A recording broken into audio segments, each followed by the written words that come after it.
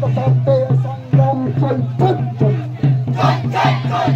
আমাদের দাবি এই পূর্ব বর্ধমান জেলার বর্ধমানের নান্দুর জাপানতলায় একটি বাইশ বছরের মেয়েকে নৃশংসভাবে হত্যা করা হয়েছে।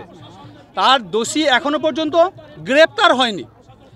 এই দোষীকে গ্রেপ্তার করে অবিলম্বে শাস্তি দেওয়ার জন্যই আমরা আমরা এই পথে নেমেছি। আমাদের এই অবরোধ কর্মসূচি।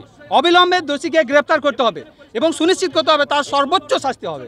আমরা নিন্দা জানাচ্ছি শুধু বর্ধমানের নয় আরজি করে যে ঘটনা ঘটেছে এখনও সেই সেইখানে যথাযথ বিচার পাওয়া যায়নি, যার কারণে সারা পশ্চিমবঙ্গ আজকে উত্তাল আমাদের আদিবাসী সমাজে সেই সংগ্রামের সঙ্গে আছি। দোষী অবিলম্বে গ্রেপ্তার হোক এবং সর্বোচ্চ শাস্তি পাক। আমাদের এখন অবরোধ শুরু হয়েছে মাত্র, কতক্ষণ চলবে আমরা কেউ বলতে পারব না।